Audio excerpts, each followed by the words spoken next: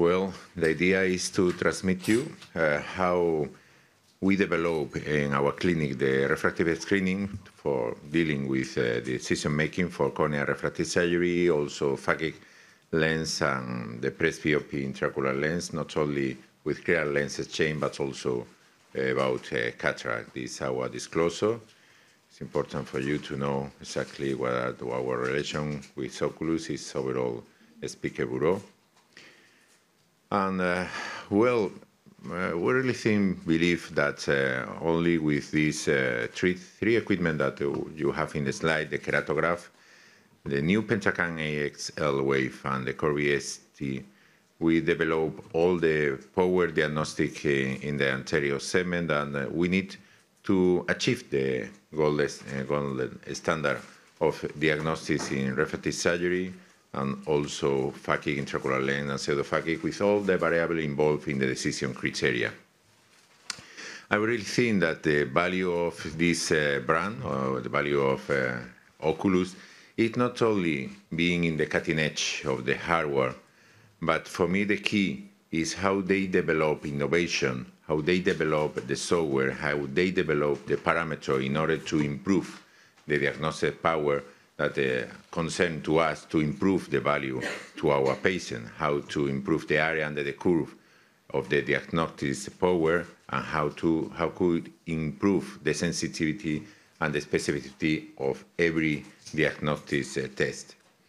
So coming from the beginning, we have developed from the 19th uh, century, coming from Helmholtz, uh, developing the keratometry, we have seen the evolution all the diagnostics in the cornea with all the things that we have developed in order to improve the power, diagnostic power on, uh, on the cornea. And in the last century, in the new century, Oculus has been always there developing equipment in the cutting off in order to improve the, the diagnostic. But not, not only that, when they develop an innovation like the tomography, they found a reinvention of the old technology like the video keratoscopy. And how could it be possible? Well, they, we are going to see how uh, the keratograph based on the keratograph, the, the topography uh, based in Placido rings, how they achieve the highest level of diagnostic in dry eye testing and all the variables that we could improve in this uh, disease.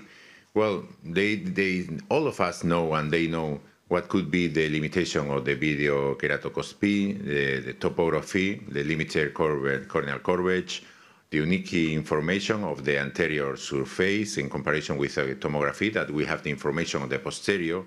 And overall, the most important is the high influence of the tear film condition. So it was really disruptive. Uh, think about the, how to combine a cons, a drawback, into the strength of the diagnosis power to dry eye, and they develop with a keratograph all this incredible power to diagnostic the detention and the progression of the dry eye. We, as you know, have the keratograph uh, 5M for dry eye.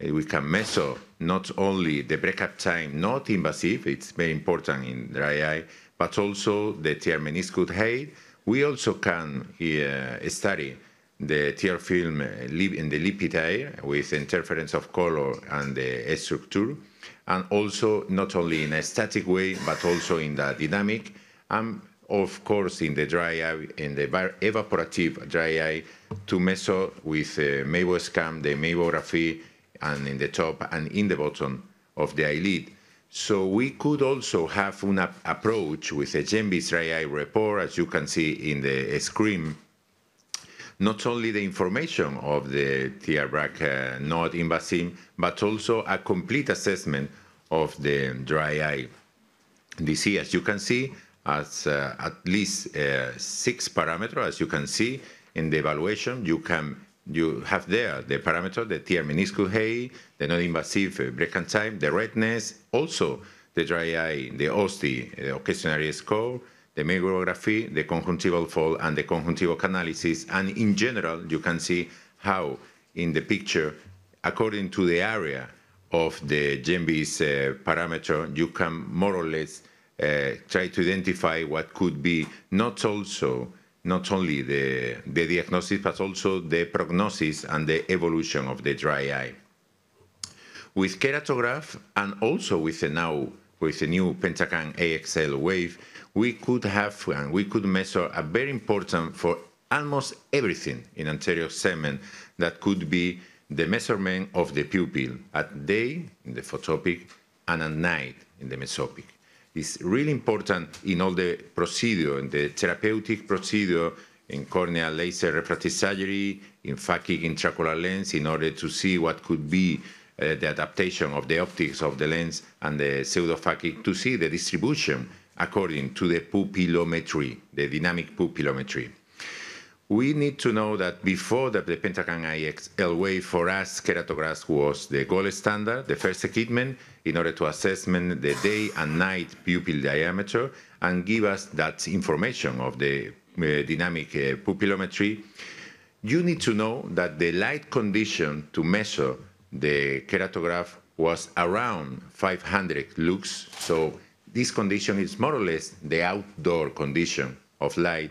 With Pentacam wave, we are going to have more or less 300 lux. It could be the condition indoor, so we are going to have a little difference. And we also need to know that the measurement of the day pupil of keratograph is at distance. As you can see in the left hand, we have some paper that tell us that when we compare the pupil at night at distance in between and the top at three meter and difference uh, at near, we could have a little difference around 0.5 millimeters. It's good to know this uh, difference. The mesopic condition, when we compare uh, both uh, technology, the keratograph with the Pentacam wave, in mesopic condition are quite uh, equivalent. Only at night, at, at, excuse me, at day, the pupil diameter are 0.3 millimeter larger with Pentacam because of the look, looks or the different, the little difference of Pentacam. As I told you, Pentacam reproduce incredibly the indoor condition. The keratograph reproduce the outdoor condition. It's good to know if you want to compare. And the day photopic, the pupil diameter measured with Colvar is a little larger than Pentacam. So probably Colvar is not adapted to the real condition of the patient, as I told you. It's interesting to know that even keratograph could give us some ideas about the corneal health with the topography, not as deep, of course, than Pentacam, but it would be interesting in some cases. Well, as a screening in some cases in very advanced keratoconus detection, but it would be very interesting, for example, to the calculation. If you are calculating the ICL with the OCOS formula, this the, the, the, the company formula, is better in terminator the keratograph, even the Pentacam, that the uh, first equipment measured with OSCAM. When we go directly to Pentacam IX wave, uh, Professor Auffarth is going to tell us more in deep, but is for us the gold standard of the anterior segment if you are going to make a laser refractive surgery, phakic intraocular lens or pseudophakic intraocular lens is the, the more powerful diagnosis that we have uh, right now. Look at this evolution. The evolution is not only about the hardware, it's also about the software creating an incredible power uh, diagnostic equipment coming from the HR, the Pentacam, coming from the 2002 till 20 years after, more than 20 years after, we have road, we have continued this road creating First of all, it was the first Scheimpflug technology coming to help us and tell, tell us uh, all the information the, about the posterior cornea. Also, we improve the optical biometry. We base all our calculation of intraocular lens on Pentacam, which is the only biometer that uh, we use, achieving incredible outcomes like the gold standard in LETIA 2. We are going to talk about that. Also, the total uh, wavefront the objective refraction. And right now, with the retroillumination, is an incredible skill to the follow-up of the centration of the uh, premium lenses and also the toric lenses as we are going to see.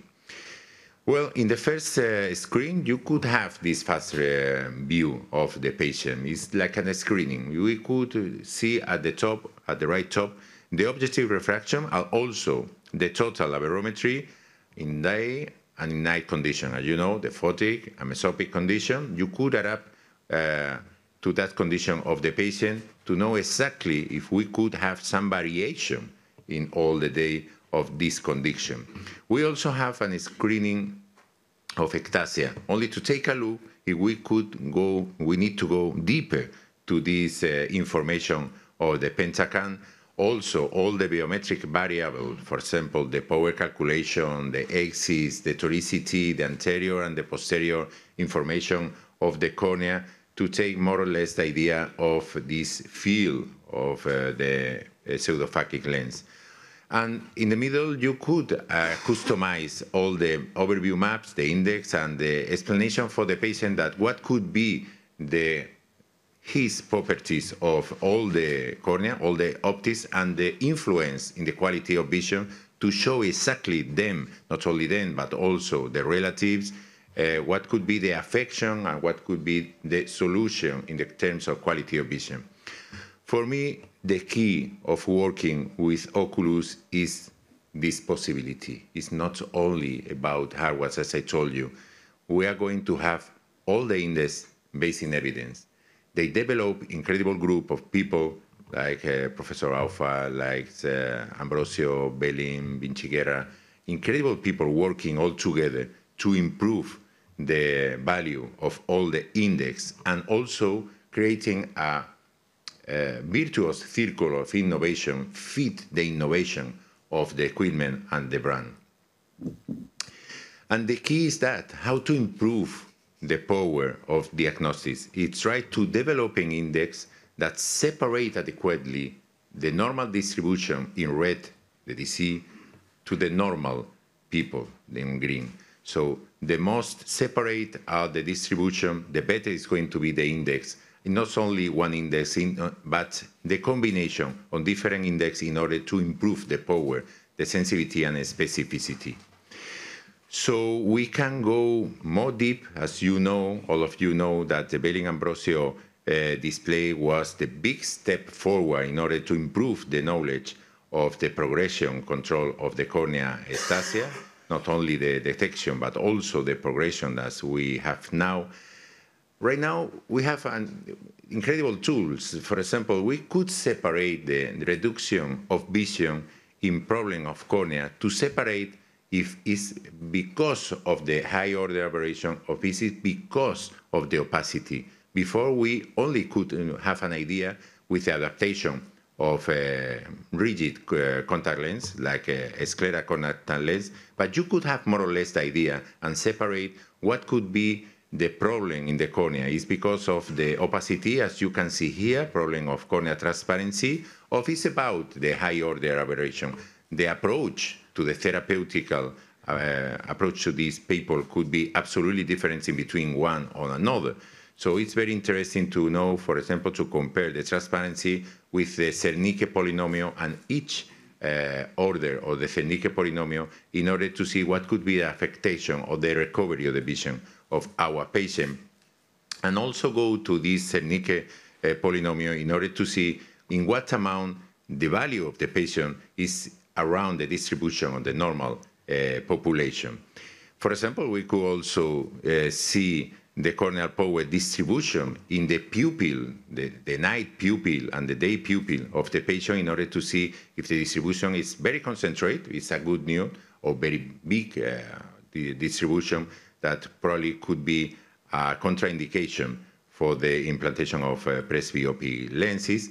And for me, this is very important right now overall, with lenses that we are working, inducing spherical aberration. As you know, uh, uh, intraocular lens that play with spherical aberration is very affected, more than diffractive, very affected to this decentration of the lens. So having the opportunity of mask and seeing with retroillumination if the lens is decentrated in comparison with the normal vertex that you know is the first uh, Purkinje reflex and would be the Langhorne sign. So this is very important to see the decentration if the decentration is affecting the quality of vision of the patient and also the rotation of the toric lens is an incredible skill to identify if the loss of vision of our patient is because of this uh, possible uh, situation.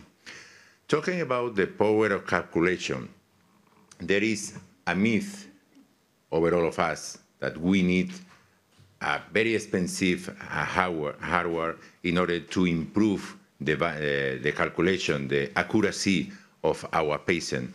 And according to the literature, according to the evidence, it's not as important. Right now, with the new formula uh, from Haigis formula, with Vergen formula, that we have more than three values to identify the ELP of the lens, almost all the formula works quite similar in normalized.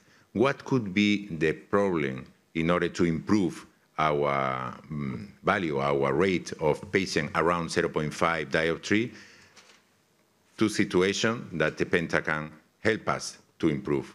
On the top is the value of the uh, reporting of the data, the collection of the data.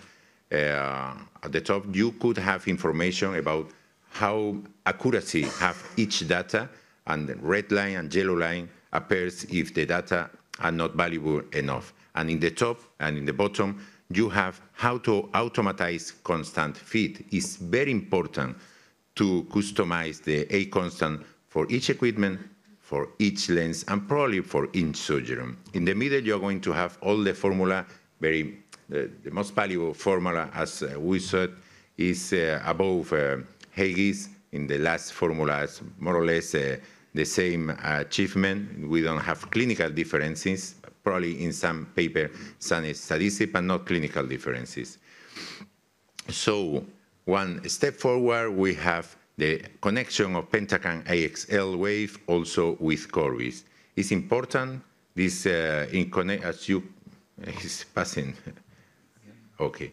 Uh, this connection is going to help us in order to improve the power of diagnosis in, uh, in refractive surgery and cornea. As you know, the Corvis uh, is going to study the biomechanical properties with uh, air puff. We are going to have, as you saw, an inward deformation and outward deformation with different parameters, as you see, the planation, the highest concavity, and also the second planation.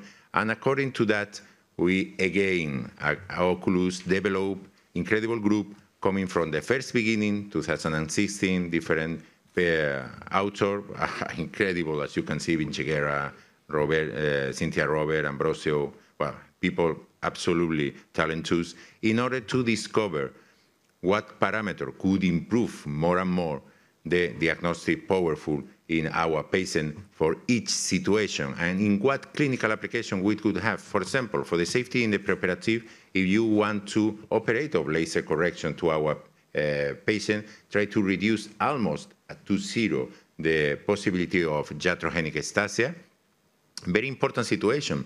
How, when you read some paper about consensus, one of the biggest problems is how to define the progression of the keratoconus, because based on that, we are going to take decision of implanting rings, of creating uh, overall uh, cross-linking, and it's very important to know exactly what could be the best way of uh, seeing the progression and don't confuse with the um, um, low uh, reproducibility of the equipment. We also could have information about what something very important is the, the follow-up of our patient operating of laser and PRK and see if we are going to have a progression before uh, ectasia could be created. Also, when we apply the cross-linking, we are going to have the evaluation of the stiffness of the cornea. And of course, the assessment of the glaucoma beyond the conventional intraocular pressure. We are seeing very interesting paper right now based on Corvis that even some glaucoma drops not reduce the intraocular pressure, but induce in improvement of the stiffness, not reducing the intraocular pressure. This is very important for our patient. So talking, for example, about the safety in the preoperative cornea laser vision correction screening, we also have parameter to differentiate. As you can see here, the connection in between at the left, the CVA, it would be the index in different, based in different parameters uh, of biomechanical, the connection with the Belin Ambrosio display, creating the TBI uh, parameter that is going to give us, give us the most power information about uh, the screening of this patient. For me, this is absolutely the challenge that we have in front of us with the keratoconus, is try to achieve a real diagnosis about the frustrous keratoconus. In literature, not subclinical, but also frustrous keratoconus. In literature, the, define, the definition about frustrous keratoconus was, as you can see here, VNT. It's the normal topography in one eye with a very asymmetric aesthesia in the other eye. So with the new version 2 of the TBI, we in, and with a cutoff of 0.5, we achieve an incredible uh, area under the curve diagnosis of 0.945 with a sensitivity of 84% and a specificity of 19%, try to confirm as much as possible the possibility of this uh, situation.